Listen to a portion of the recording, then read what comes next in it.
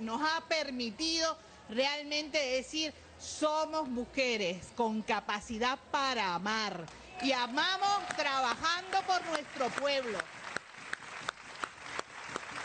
Les digo que tuve el privilegio de conocer a Chávez en el 2004 personalmente. Me pasaron cosas muy hermosas esos días. En un momento determinado, la primera vez que hablamos, yo recuerdo que él me dijo, ah, le dijeron quién era yo y me dijo, ah, tú llevas mucho tiempo aquí. Y yo había acabado ya hace una semana, le decía, no, no, presidente, yo llegué hace una semana. Me miró y me dijo, no, tú siempre has estado aquí. Y el problema, me di cuenta que no hablaba de mí, hablaba de mi papá.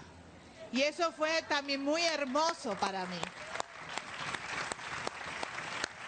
Tenía que hacerle una entrevista. Y yo no soy periodista, soy médico, pero ustedes saben que en Cuba, músico, poeta y loco, de todo tenemos un poco, ¿no? Y dije, bueno, está bien, voy a hacer la entrevista a Chávez. Y antes me entrevisto con una persona, una mujer venezolana, que no recuerdo su nombre, era una, mucha, una compañera que trabajaba en el municipio. Y recuerdo que ella me dijo, ah, vas a entrevistar a mi presidente. Oh, qué hombre, me decía. Yo, usted sabe, bueno, Chávez, un hombre igual que otro cualquiera, no hay. Pero ella tenía razón. Cuando uno empezaba a hablar con Chávez, es que te hacía sentir la mujer más hermosa del planeta.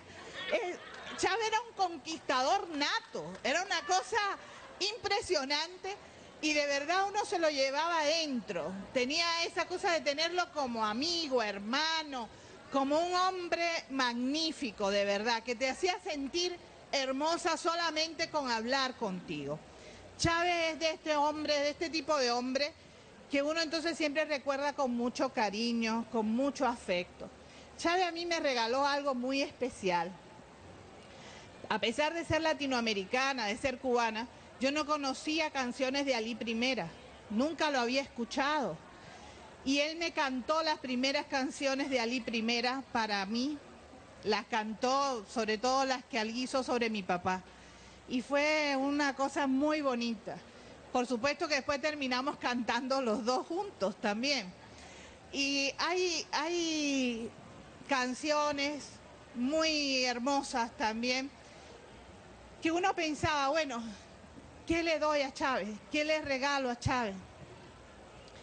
Tú le regalas la vida, le regalas tu propia vida cuando tú eres capaz de seguir trabajando, cuando tú eres capaz de seguir luchando, de no cansarte nunca, de no darle ni permitirle al imperialismo, como decía el Che, ni tantico así, no permitirle absolutamente nada, seguir adelante, seguir construyendo esta revolución, criticándonos nosotros mismos, pero los otros somos los únicos que tenemos derecho a resolver los problemas internos de nuestros pueblos, nadie más.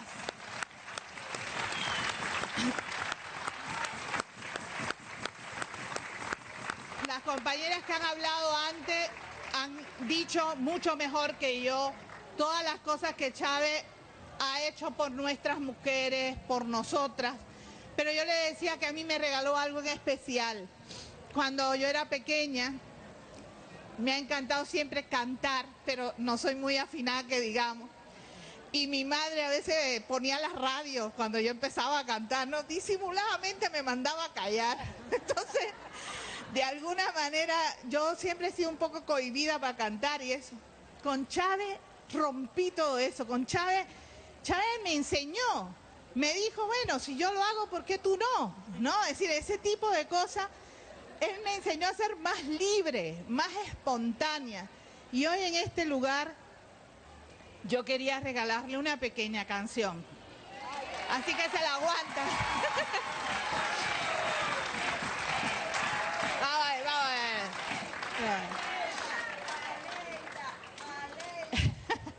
Mire, esas son las cosas que Chávez hace siempre, ¿no? Que uno tiene que aguantar entonces a los que vengan atrás porque él nos enseñó a hacer esas cosas y bueno, eh. pero era es una eh, canción vieja, tradicional, que seguramente muchos la conocen y si pueden me acompañan. A ver, es... Eh, hay varias, pero hay una sobre todo que habla de despedida, habla del amor, ¿no? Y bueno, yo ya me voy al puerto donde se halla la barca de oro que ha de conducirme, yo ya me voy. Solo vengo a despedirme. Adiós, mi amor. Siempre. Adiós. No volverán mis ojos a mirarte, ni mis oídos escucharán tu canto, voy a aumentar estos mares con mi llanto. Adiós,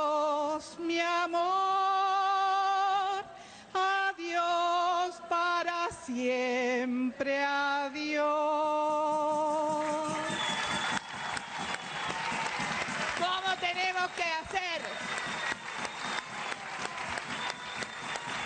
¿Cómo tenemos que hacer? Tenemos que seguir luchando. ¿Hasta cuándo?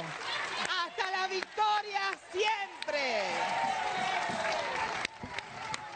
Bien, escuchamos entonces las palabras de Aleida Guevara, la hija de Che Guevara, quien también se encuentra en Venezuela con motivo de esta semana aniversario de la siembra del comandante Hugo Chávez Frías y que se mantendrá hasta el próximo 15 de marzo acá en el cuartel de la montaña, donde bajo un bello cielo azul el tricolor nacional ondea junto a las mujeres que han convertido en este lugar su casa para debatir, discutir, compartir experiencias y avanzar en la lucha feminista en revolución.